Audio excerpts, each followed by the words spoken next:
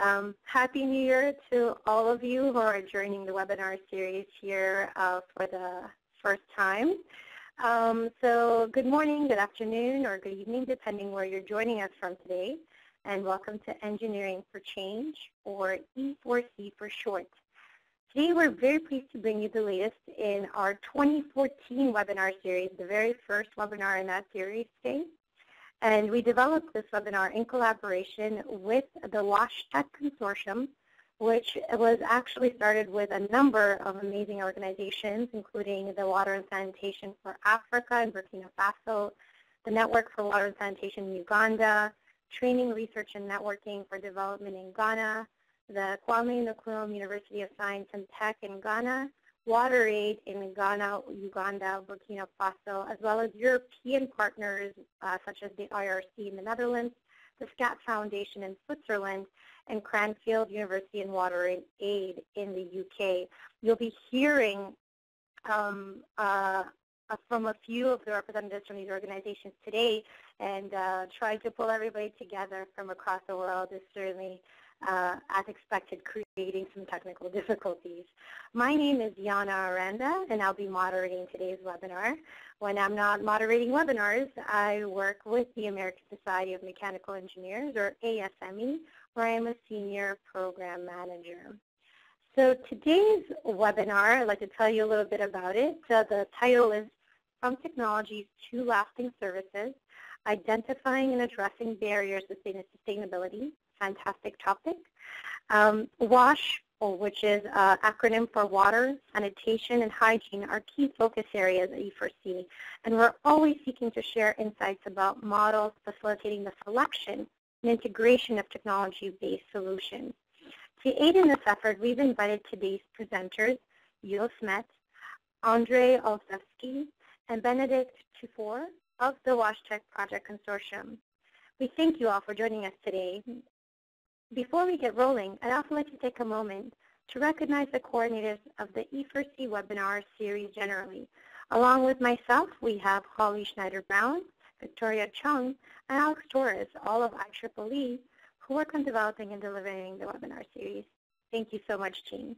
If anybody out there has questions about the series or would like to make a recommendation for future topics and speakers, we invite you to contact us via the email address visible on the slide, webinars at engineeringforchange.org. Before we hand things over to our presenters for today, we thought it would be a great idea to remind you about E4C and who we are. E4C is a global community of over 17,000 technically minded members and more than 30,000 social, social media followers such as engineers, technologists, representatives from NGOs, and social scientists who work together to solve critical humanitarian challenges, whether in WASH, energy, health, agriculture, or other areas faced by underserved communities worldwide. We invite you to join E4C by becoming a member. E4C membership provides cost-free access to a growing inventory of field-tested solutions and related information from all the members of our coalition, including professional societies such as ASME, IEEE, ASCE, SWE, and ASHRAE, as well as academic supporters like MIT's D-Lab, international development agencies such as USAID, EWB USA, and Practical Action, as well as access to a passionate, engaged community working to make people's lives better all over the world. Registration is easy and it's free. Check out our website, engineeringforchange.org, to learn more and sign up. The webinar you're participating in today is one installment of the Engineering for Change webinar series. This free, publicly available series of online seminars showcases the best practices and thinking of leaders in the field who bring innovative technology and solutions to bear on global humanitarian and development challenges. Information on upcoming installments in the series, as well as archive videos of past presentations, can be found on the E4C webinars page engineeringforchange-webinars.org. If you're following us on Twitter today, I'd also like you to, to invite you to join the conversation with the hashtag E4C webinars. Our next webinar will be in February, uh, likely at 11 a.m. Eastern Standard Time, on the topic of emerging trends in social entrepreneurship. Please stay tuned to the E4C webinars page for updates on the presenters and registration details. If you're already an E4C member, we'll be sending you an invitation to the webinar directly. So that's a little bit more incentive for you to join us. So you'll get the invitation to the next webinar. A few housekeeping items before we get started. So I'd like to see where everyone is from today. I'll start with an example by typing where I'm dialing in from today. Very snowy New York City. Um, any technical questions or administrative problems should go in this chat window where I've just typed in my location. So let's see.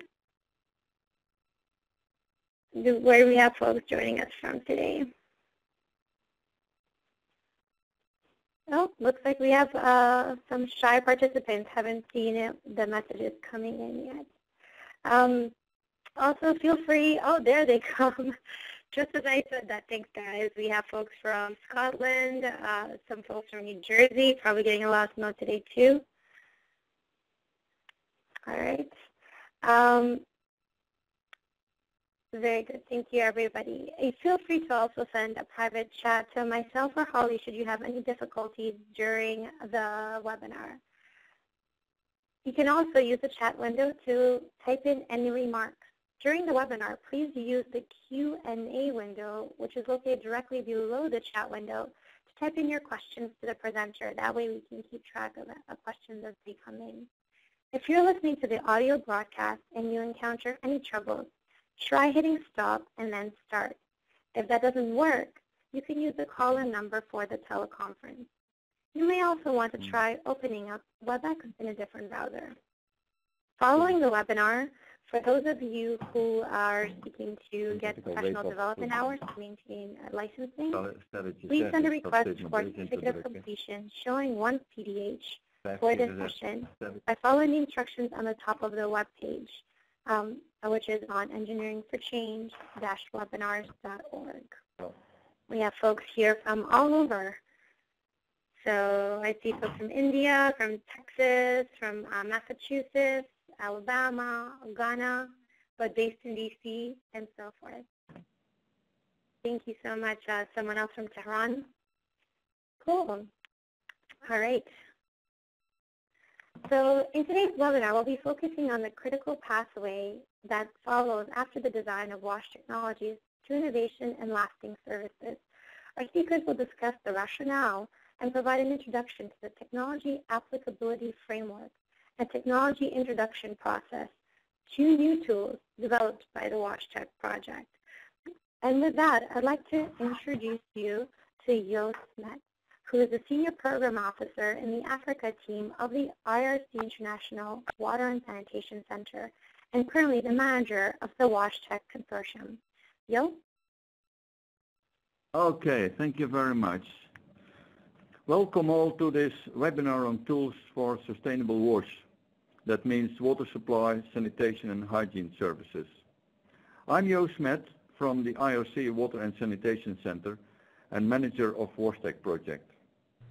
We are glad to see that we have a good number of participants from the US, the Americas, Europe, and even Asia. Great. Thanks for joining this WASHTech webinar organized by Engineering for Change.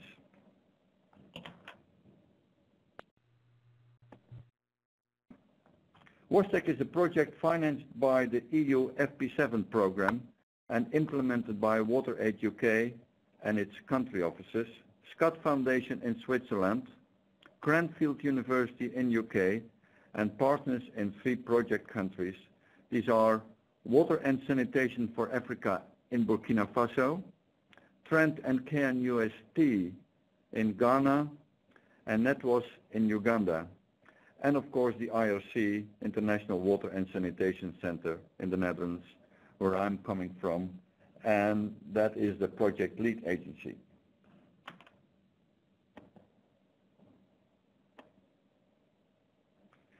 What is the rationale for WASHTech?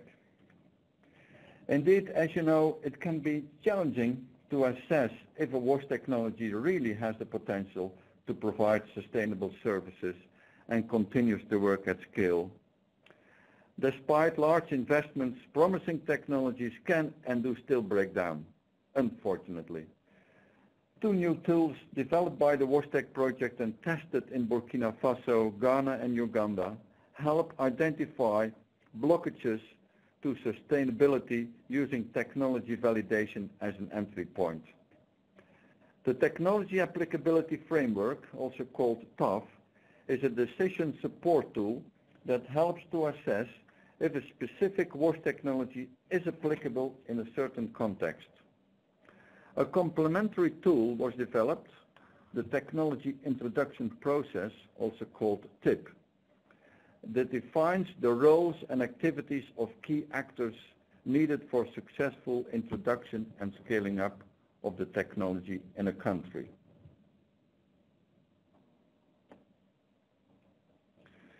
What are the possible uses of TAF and TIP in the wash sector? Of course, as a project and with the wash sectors in the project countries, this was a key issue. The project had to make clear what was the potential use um, for the sector, and, and it was to be determined uh, by the interest of the sector. What is their buy-in? And people in the country will of course ask, what's in it for me? Actually, four main uses came very clearly out, four main uses of the TAF and the TIP. The first one is for validation of new wash technologies, so new wash technologies for application in the country. Technology developers who want to get their technology accepted in that country, they approach national level ministries which will apply the TAF and the TIP. the second use that came out was for validation of an existing wash technology for application in a specific context, for instance at a district or a sub-district level with a specific local social, cultural, economic and other conditions. Then the TAF is applied before a technology is being introduced at that decentralized level. Barriers to sustainability are being identified and can be addressed prior to local introduction of the specific wash technology. The third use was as a monitoring tool to assess why one technology is a success while another one is a failure and that can be both at local level and it can be at national level. Then hindrances and success factors are determined that will lead to choosing other, either another technology or formulating actions to do better. And the fourth use that came out was as a tool in a project, a program appraisal process in which the proposed wash technology is being appraised for its potential to contribute to a sustainable wash services. In this webinar, we have short presentations by Andrei Olschewski from SKAT on the TAF and the TIP, and another one, another presentation by Benedict Tuffuor from TREND on the TAF application in Ghana. The full program is shown on this slide. And now I'd like to give the floor to Andre to briefly introduce the TAF and the TIP. Andre. Thank you very much, Joost. Uh, good morning. Hello, everybody. My name is Andre Olschewski. I am working at uh, SKAT Foundation in Switzerland as a water and environmental sanitation expert. The title of my presentation is From Wash Technologies to Innovation and Lasting Services. Uh, in my presentation, I will briefly introduce the two tools you has mentioned already, the underlying concepts, uh, which should help you to efficiently decide on what solutions, but also on how to take these solutions and technologies to scale.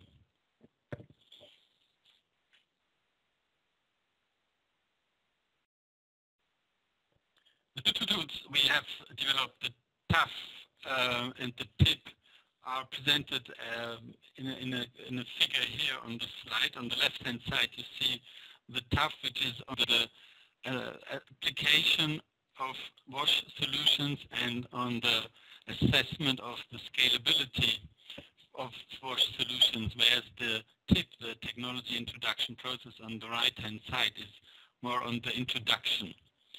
Uh, the two tools are complementary and the purpose, as you has mentioned, is, is different. So the TAF is a proper assessment tool, whereas the TIP is a guiding document. In my pre presentation, I will focus mostly on the TAF, but on both tools you will find all the documentation, all reports on a web link, which I show later at the end of the presentation. All documents are in the public domain and you can access them uh, for free. So what is the rationale we were actually dealing with. I guess some of you are in the wash sector in the development context, others maybe a little bit less. So the situation which we face in the sector is that too often key aspects for sustainability get forgotten in technology assessments. Uh, aspects such as affordability of users to pay for operation maintenance or the skill set which is not there to operate the technologies but also often technologies are introduced without following clear and transparent procedures so that important actors get not involved uh, in the process or in time. And even more important, technologies are introduced where there is no need for these technologies or no demand. And lastly, we, we have seen in many case studies that there's little or hardly any exchange between the actors in the process, for example, from the piloting, which means there's little sharing and learning in the sector. So in the technology assessments and introduction, we don't see only issues around sustainability, but also poor linkages with respect to governance, accountability, or innovation. And to overcome these issues and to come up with a robust tool, we developed and tested the TAF. So the TAF, as you mentioned, is a decision support tool for assessing applicability and scalability of a specific wash technology in a specific context. And the target users of the TAF include government at local and national level, the local private sector, local NGOs, international NGOs, development partners, academia. This is important because this will also define the design of the tool, the, the, the level of process and complexity of uh, how the tool works. This is exactly where we went to. We Uh, deliberately defined an easy-to-use tool following a stepwise and participatory process.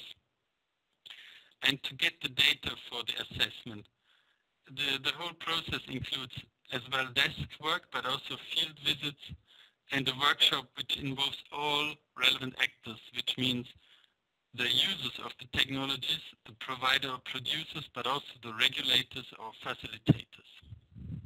I will go more in detail here. So how do we address these issues like governance and accountability in this tool?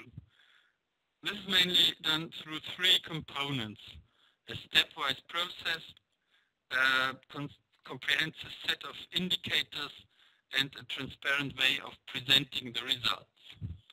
I start with the process here. So the TAF application follows a process in four steps. The first step is the screening. The screening, the purpose is to filter out those technologies where there is no demand or where the, these technologies are not applicable, for example, for physical reasons.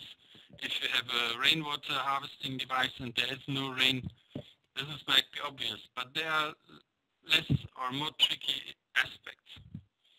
If you pass the screening, you go for the assessment, which is followed by the presentation of results and later the interpretation and conclusion.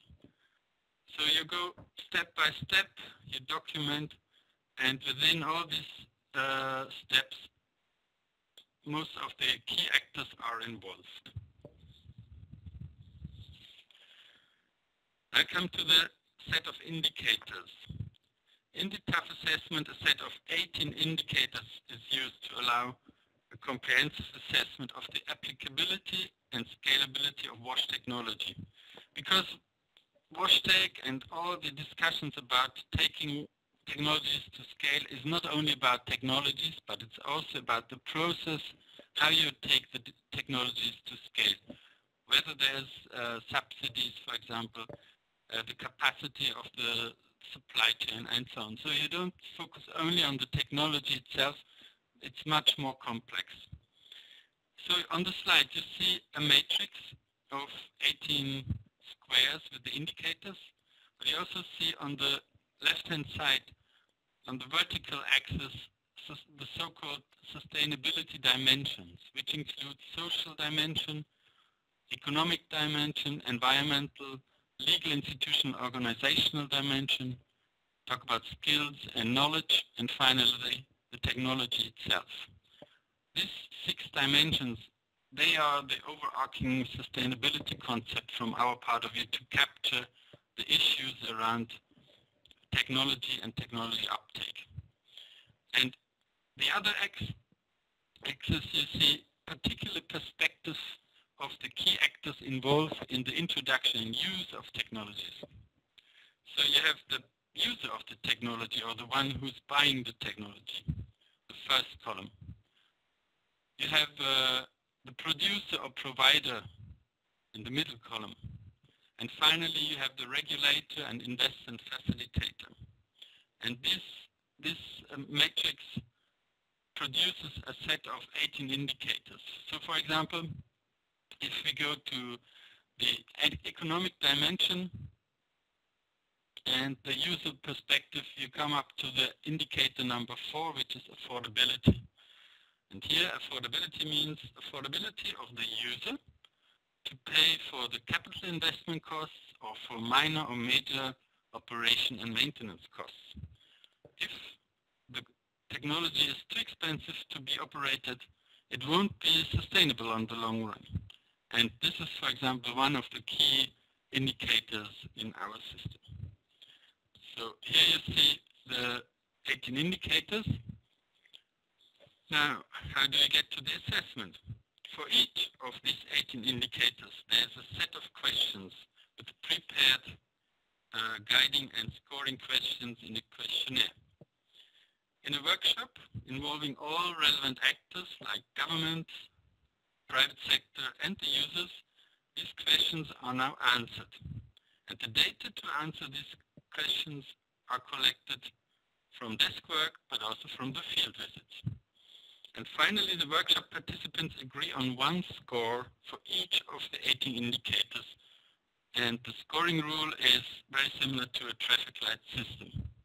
You see this on the right-hand side. So green means high value, positive, supportive characteristics, where red is low value, negative or critical characteristics, yellow or zero we use whether there's if, if there is a potential impact or could become critical and which needs a longer follow-up. And if you don't have sufficient information to, to do a score, give a score, then we leave it black with a question mark and needs follow-up to clarify. So this is the scoring rule and within the workshop you go through question by question and put score by score most likely by dimension.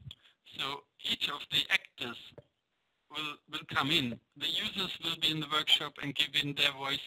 The producers are there and also the regulator and, and facilitators. So all listen to the answers and finally agree on one score. And of course, it needs a proper Uh, facilitation of the workshop to go through this process. The resulting scores are presented in, in a graphical profile as you see on the slide.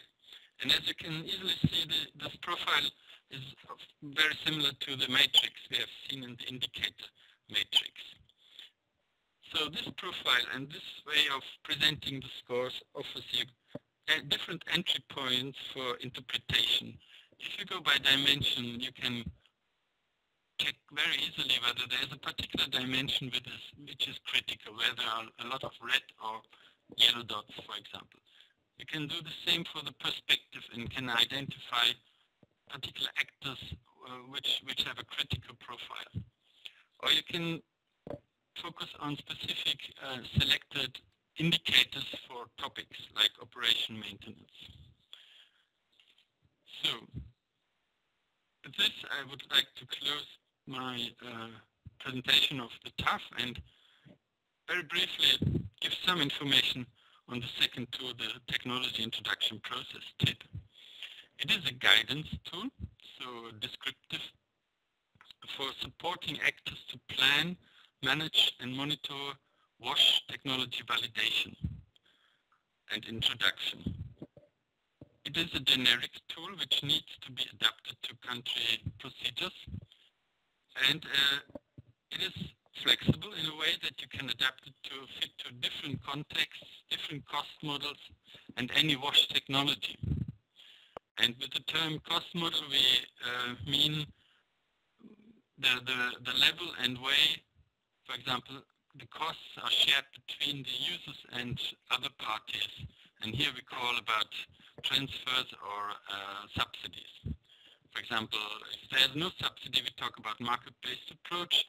In other cases, technologies are given away with a subsidy, but the operation maintenance costs should be covered by the users. So there are different cost models. Based on the analysis of different case studies on technology introduction, we have identified three phases which are key for the description of the introduction of technologies. And these three phases are the invention phase, the tipping point, and uptake and use phase. And as you can see in the figure on the left-hand side, the blue uh, line, this the, the number of units sold to the market or taken up by the market. And in the very beginning you have a, a little number. And this might be the period where you do the testing, piloting, where you improve the technology, and where you assess the feasibility of, of the launch. And if you come to a positive result, you prepare the launch. And these two subphases we call the, the invention phase.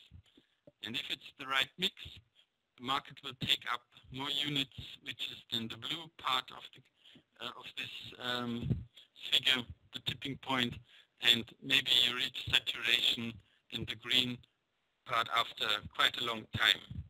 As you know, uh, technology introduction is complex. It needs a lot of actors to be involved and, and a lot of financial resources. And to get it right, you need a good description and uh, division of, of tasks. And this is exactly what the tip should provide for you. And based on the concept of the three phases on the right hand side of the slide, you see that for each of these phases, we, in the tip, we provide some generic description of the tasks of actors to, to yeah, to support the introduction process. This works for water or for sanitation hygiene technologies and for different cost models. The TAF, TAF could play a very relevant role in the testing phase for feasibility, for example, but as you mentioned, it could also play a role as a monitoring tool during the uptake process. So with this, I would like to close the presentation. Uh, but finally, I want to highlight that the TAF was rigorously tested on the ground in three countries in Africa, in Burkina Faso, Ghana, and Uganda, in three rounds on 13 different wash technologies. And also the tip was used in the countries to develop uh, country-specific national guidelines for technology introduction. I think Benedict will give you more information on this. And now the TAF and TIP are taken up by national host institutions in each of the countries. But even outside WashTech, there are already institutions that work only with the documents and have applied the TAF, for example, in Nicaragua without any external support. So now I come to the end. Uh, if you want to find more uh, information on the tools, on the results of the testing, background reports, please go to the resource uh, website www.washtechnologies.net There you can find all the documents on TAF and TIP and background documentation. If you have specific questions, please feel free to drop a mail to me and so we can get in contact. I'd like to thank you very much for your interest. I'm happy to answer your questions, but now I would like to hand over to my colleague Benedict, who will give you interesting insight information on the application of the TAF in Ghana. Thank you very much. Okay. It's back to me actually, Joost Smet from the IRC in the Netherlands, because apparently the, the telephone line and the connection with Benedict Tuffuor from Ghana uh, doesn't work. So we have a kind of an, uh, a contingency, a plan B for this. Um, of course, uh, I am based in Netherlands, but I have visited Ghana uh, regularly, and I know what they have done in Ghana as a project manager. So I hope to to give a, a good uh, picture of the evolution of the TAF and the TIP in Ghana as one of the three countries. That's not me, that is Benedict who was supposed to, to be here.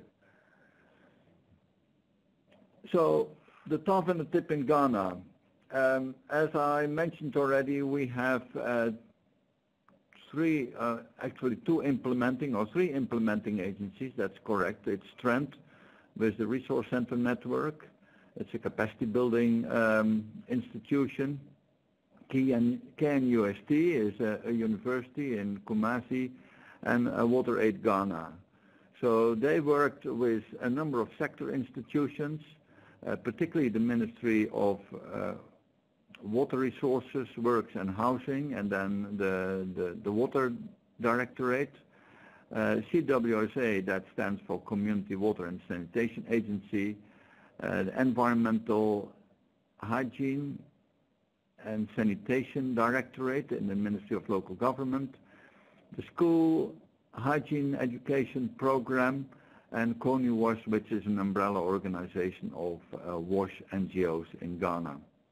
And of course they work with the private sector because it's all around technology uh, particularly tech technology developers in the country uh, and consultants who are uh, involved in this technology business. And of course also in the sustainability of wash services. And allied projects were uh, Triple S and WashCost. These are two major projects that IRC is implementing amongst others in Ghana, uh, both financed by the Bill and Melinda Gates Foundation and they are very much around uh, sustainability of uh, water services and the service delivery. And WashCost is the costing of wash, you can say, and models they have developed around that. And we have used a number of their, um, yeah, characteristics and their findings, their results in this program. The sector platforms that uh, were used in Ghana were the national level Learning Alliance platform. It's an, uh, a learning structure at the national level. Uh, they have them also at the district level and sometimes they were also used. The MOLE conference series, that is an, uh, a conference yeah, in, in Ghana, what I said, um, which brings together many organizations, um, NGOs, they started with that, uh, the MOLE conferences, but also development partners, government, politicians, they all come together. Then you have uh, the Ghana WASH Forum, another platform for discussion that was used for the embedding of the WASH Tech programs and other working groups that are there. Uh, the TAF testing in Ghana uh, was around seven technologies and as uh, Andre explained, we, we were using various rounds to come to a good product, a good, a good uh, tool. Of course, you don't have that from, from the very first round. You start with a draft and then you improve and you improve and you and we came together after every round and we, we improved um, the structures of, of, what you have seen as a final. Uh, the process involved indeed uh, preparation, uh, in these uh, testing rounds, data collection and validation and scoring workshops. So that was done, you can say, four times, and in the four times we applied seven technologies, so on average about uh, two technologies per round. Uh, the TAF testing, as I said, was refined after um, after each uh, round, and uh, and the result is, as Andre was uh, showing, this kind of um, uh, visualization, this diagram with uh, the various sustainability dimensions and the key perspectives, the users, the private uh, providers, the, the technology producers, and the regulators and the facilitators in the last column. Uh, actually, as a result, um, we have this diagram, of course, but we also have an, technology brief, we call it, or recommendation notes, that explains how we arrived, or the group that applied it, arrived at the green, the, the yellow, or the red, or the black uh, colors in each of these uh, um, circles.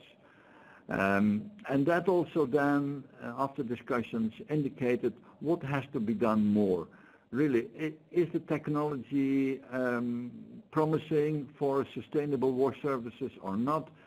If it is, but there are still a number of barriers, there are still a number of um, problems that have to be solved before you can really go ahead, uh, then these will have to be explained and have, of course, later on to be solved before the sector can really give a green light. And these all are being put down in the recommendation notes uh, for each technology.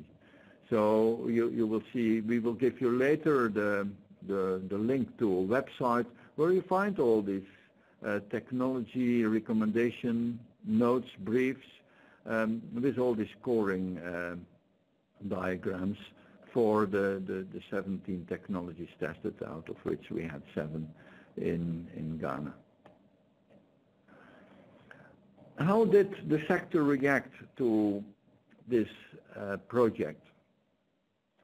Actually, the feedback on the TAF was uh, very positive from the Ghanaian uh, wash sector. Uh, they said it's a comprehensive tool that helps to unpack the sustainability and, and, and check the sustainability uh, of the technology that uh, was being considered. Said this is long overdue and it has a great value uh, that the sector um, will use. Um, the testing process has made the issue sharper and straightforward uh, in, in, in terms of um, yeah, sustainability of technologies. It's, it's, it's always a bit uh, vague. I mean, there are interests of different parties, and this uh, TAF is a neutral tool, you can say, um, which helps to um, yeah to to make your conclusions neutral as well and and how to go forward. It's a participatory approach and ensures transparency through questionnaires that we have that that you further develop uh, for the specific context and the the workshop um, creates a, a transparent participatory um, platform forum and that's important because we have been considering to do it in a, in a more uh, electronic way, uh, in a more um, yeah, smartphone way, uh, but that would then you put all the data in a black box and something comes out and, and maybe people are also manipulating it in that process. It's, uh, it's a bit risky. So we, we um, got very good feedback on this participatory approach. Actually, it requires uh, some skills and um, and uh, you, you have a process that is unbiased and effective facilitation will make that you get a good uh, results. So this is the TAF and the tip in, uh, in, in, uh, in a process where you have a new technology or an existing technology.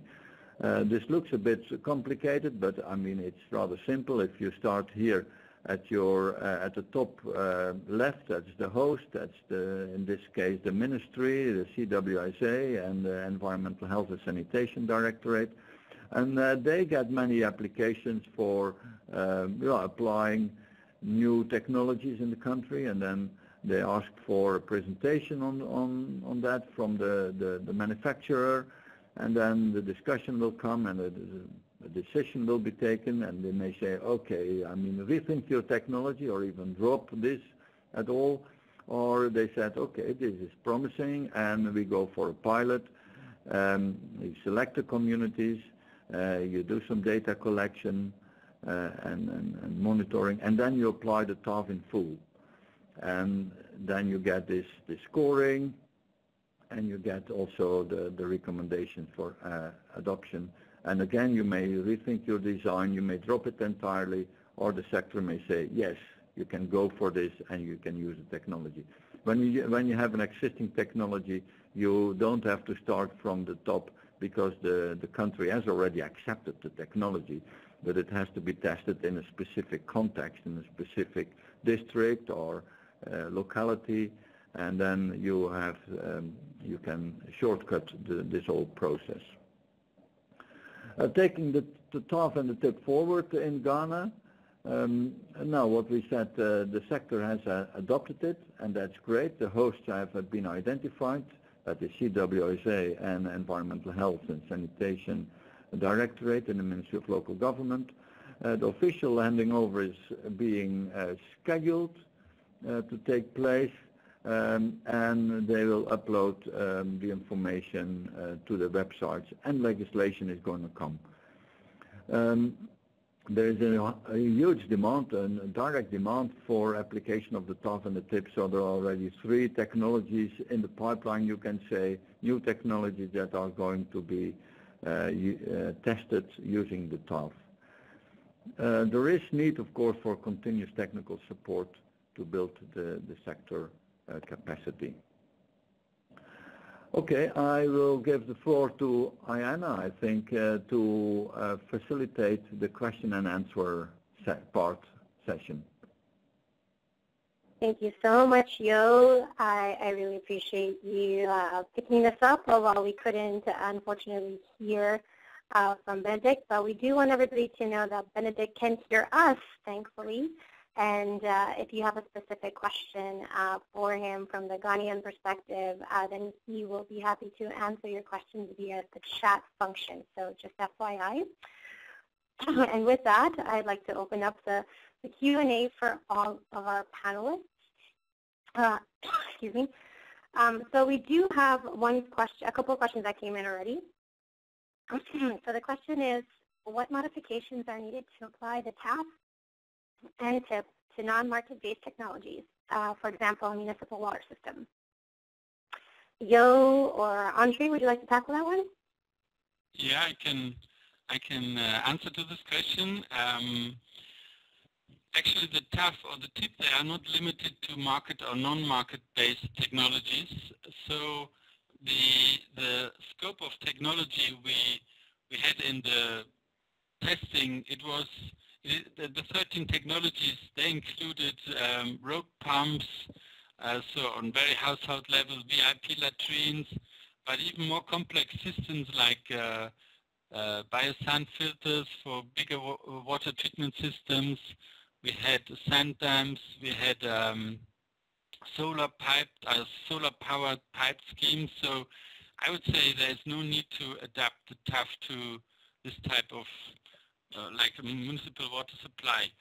What you have to take into consideration is just to clearly uh, define the system you are looking at and then to um, to go through the process properly and to be very clear on what you are talking about. But as such, I think uh, you, you shouldn't need to adapt the, the TAF.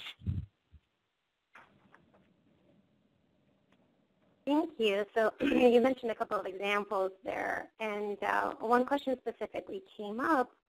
Um, if there was a prediction by the TAF or a determination that uh, a particular technology was uh, not suitable for whatever reason, uh, what have you had any outcomes in your test runs of uh, steps forward, and have any of those steps been taken, or uh, the tool uh, or the technology gone through another round of the test? Andre, do you take that? Yeah, okay, I, I can, yeah. Um, yes, so we we did three rounds of testing, and some in some um, rounds we had even the same technology. For example, the rope pump in all three countries in the same round.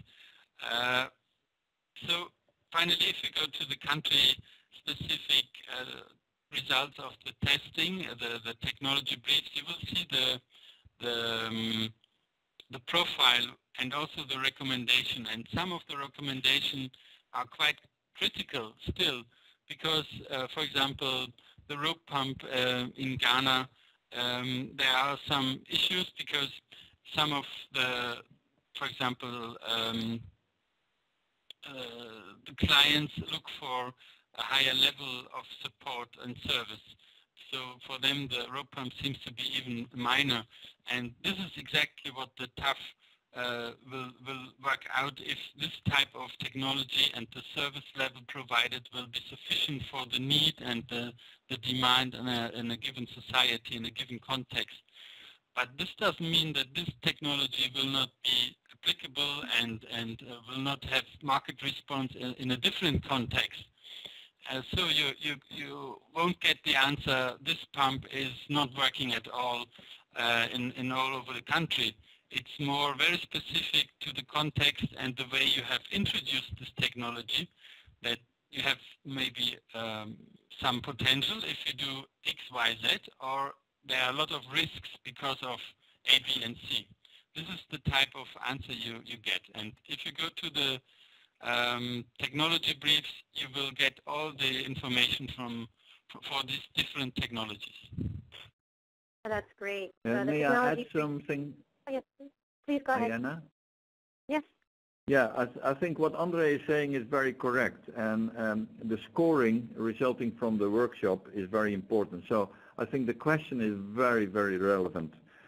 Um, because from that scoring and in the recommendation notes, technology recommendation notes, you find the, the obstacles, the barriers, but also the successes, of course, uh, of that technology uh, through the traffic lights.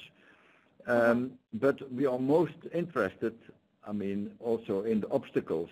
What what will be a barrier for success? What will be a barrier uh, for a sustainable wash service? And and these have to be taken away to before it's really giving a green light to a go ahead to to apply it. Um, and if, if there's only one and, and, and the government and the users, uh, because we don't know where the red light was, of course, um, say, okay, we can, uh, within a time frame of a few months, we can uh, assure that uh, this is going to be green. Uh, now, then you can say, go ahead.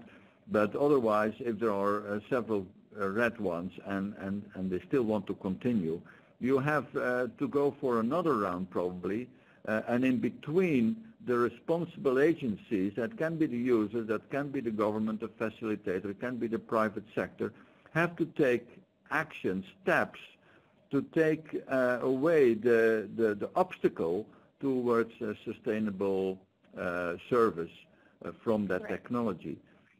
So I think that is, uh, that's why it's a very, very good question. Thank you. Fantastic. And yes, and I couldn't agree more, and I'm sure our listeners couldn't agree more, uh, that uh, it, it's invaluable to really understand where the issue or the barrier to success really happened or what are some of these um, hurdles that are being faced. So uh, one of the things you said that is that uh, the incredible um, importance of the actors in, in the deployment of these particular technologies. So in terms of deploying uh, the, uh, and having this effective application of the TAF, what would you say are the greatest challenges um, for the TAF adoption? Andre? Yeah. So for, for me, there there's maybe one challenge apart from the funding. So I start from funding because, um, as I mentioned, it's a participatory process. You go to the field and you have workshops involving all the relevant actors, which means you have costs. Uh, and based on the 13 different uh, applications, we come to an estimate of about three to 5,000 US dollars for one assessment of one technology in, in a region. Uh, Uh-huh. maybe this this looks high, but if you compare this cost to sunk costs for poor introduction of technologies, this uh, isn't that high. Uh, the, Right. the, the challenge I see is you need a good facilitator of the process because there are for sure vested interests uh, that might interfere in the process. So you need a strong independent uh, facilitator. But I, I think there are good people out there. That those are those are challenges I think that are, are quite common just in general. So yes, I can I can appreciate that. Certainly, we had a few more questions that have come in. Um, so uh, we talk about these feedback loops, and, and of course, with the technology, trying to understand, uh, you know, the adoption requires us to go through the TAF, or it helps us to go through the TAF to really understand the barriers. Now, has the TAF its own feedback mechanism so that uh, as as you learn and you go beyond the trials that you've already conducted, that you'll be able to continuously improve on the TAF and tip itself? Yes, if if I may say, um, what what we have been doing is to to test the the tool, develop Mhm. and test the tool in in four rounds, and I think we we have a, a good product, um, but it it can be further adjusted and improved, and particularly uh, adjusted to to some specific um, context countries, and and it can also be further adjusted for uh, a group of of technologies, I would say. If you are, um, if you have more, uh, for just to give an example, an, an a wastewater uh, treatment system, um, then I think uh, the questions that we have at the moment may not be directly applicable, and they need to be converted to a set of questions that are suitable, sound for that technology. Uh, Mhm. That's why it is important to have in the testing an, uh, a research institution or a resource center involved. A host like a, like a government has not as a core business the development of, of research tools or, or this, uh, this testing tools. So they, they may still come back to organizations like the partners we had in the countries to really further um, yeah, tailor make them um, the tool for that application that you have in mind. Thank you. Thank you. Uh, with, I'm just going to piggyback off of that question um, and that answer that you gave, uh, Yo, with respect to those organizations that you already have indicated as partnering and familiar with the TAF and TIP, um, are you going to be continuing to build out the list of groups that are adopting the process so that as a resource for individuals or other groups that are looking to uh, either share knowledge or uh, go directly to these groups to help them with adoption? Exactly, yeah. Yeah, Uh, we- this is very important for us. Andre, go ahead. on, on the on the web page uh, washtechnologies.net there are there's an area for exchange of experiences and I would like to encourage all of you to use the TAF but also to feedback your experiences and and also the critical uh, findings because this is only uh, how we can learn and I would be very happy to get in contact with you to learn and so that we can further develop the, the tools definitely Yes, Fantastic. and there are already a number of organizations that are scaling up, I would say, and scaling out um, the application of the TAF and the TIP. Uh, particularly WaterAid has been introducing it in Tanzania and in Nicaragua. There has been a, a great interest from uh, Water for People, uh, CSR. Um, the EU is interested in it, European Union, and they want to share it for consideration to the delegations in the countries. So, I mean, it's it's uh, it's public domain now, and anybody can apply it. You will see later where you can find it on the website. Um, but of course, I mean, we are still open to give support, and uh, we hope to get a good feedback so that we get an, a dynamic product that is improving over time. Thank you. Well, we are very pleased to uh, try and move the needle on that for you, and uh, we will be certainly sharing uh, this webinar as a recording with all of our uh, followers. Uh, for uh, We've reached the end of our webinar for today, and for those of you who are asking, I see and the question came in, thank you so much for that segue. there will be a recording of this webinar posted on the webinars page for Engineering for Change. Uh, for those of you who are interested, the Professional Development Hour code is listed. If you have more questions that did not go answered today or would like to get in touch with our presenters, feel free to please email us at webinars at engineeringforchange.org. With that, I'd like to thank uh, Yo, Benedict, Andre, and Carmen who have been kind to join us today and share with us uh, the TAF and TIP. Uh, we are thrilled to have you and thrilled to be part of the effort of promoting these really incredibly useful tools. So thank you to everybody. We'll see you on the next webinar in February. And don't forget to become an E4C member to get information on that. Have a good day, everybody. Thank you. You. Bye, everybody. Bye-bye.